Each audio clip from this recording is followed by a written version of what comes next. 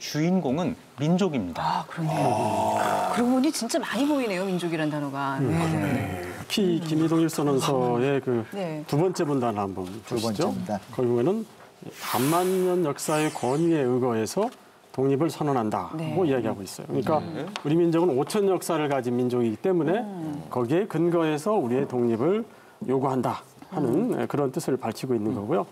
또 민족의 자유로운 발전을 위해서 역시 독립을 이제 요구한다 이렇게 되어 있습니다. 그러니까 독립을 요구하는 주체는 곧 바로 민족이다 하는 것이죠. 민족의 민족에 의한 네. 민족을 위한 독립이다. 네. 뭐 이런 거. 근데 또 달리 생각해 보면 이 선언서의 주체 주어가 일본도 아니고 중국도 아니고 우리 민족이잖아요. 그러니까 당연히 민족이란 단어가 많이 나올 수밖에 없겠네요. 그런데 사실은 1919년 3.1운동이 있기 불과 한 10여 년 전에 그러니까 1905년부터 10년 사이에 당시 신문을 보면은 민족이라는 단어보다는 사실은 국민이라는 단어가 훨씬 많이 쓰였었어요. 그리고 실제로 어, 우리나라에서 민족이라는 단어를 처음 쓰기 시작한 거는 1905년부터입니다. 1905 년? 그러니까 불과 14년 만에 민족이라는 단어를 이렇게 많이 쓰게 되었다라고 하는 거. 이건 상당한 그 변화라고 할 수가 있죠. 왜 그랬을까요? 그것은 이제 1905년에 우선 을사조약에서 어, 외교권을 빼앗겼고 네. 또 1907년에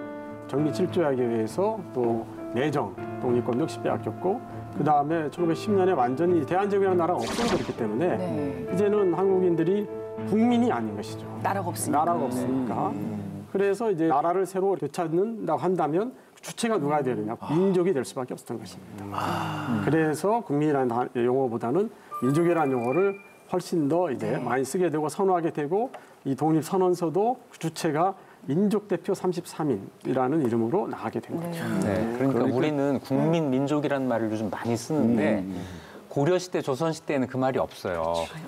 네. 야 오늘 처음 배우는 겁니다. 이 말이 없다가 영어에 네이션이라고 하는 말이 들어오면서 이걸 번역을 하는데 국민으로도 하고 민족으로도 했는데 우리는 유난히 민족이라는 말을 많이 쓰게 된 거죠. 네. 아무래도 좀 나라를 잃었기 때문에 네. 예전에 그러면 국민 민족 그런 개념이 아니라? 백성. 그냥 그렇죠. 그냥 백성, 민, 어. 뭐 이런 말들을 네. 쓰죠. 네. 그리고 동포란 말도 가끔 있긴 하지만 네. 민족 국민은 근대 이후에 새로 생긴 말입니다. 야, 놀라운 게 국민이라는 말, 난 그게 일제가 만든 말인 줄. 알았어요. 가보개혁 이후에 이미 국민이란 말이 들어오고요. 어, 그래서 당시에도 이제 국민을 어떻게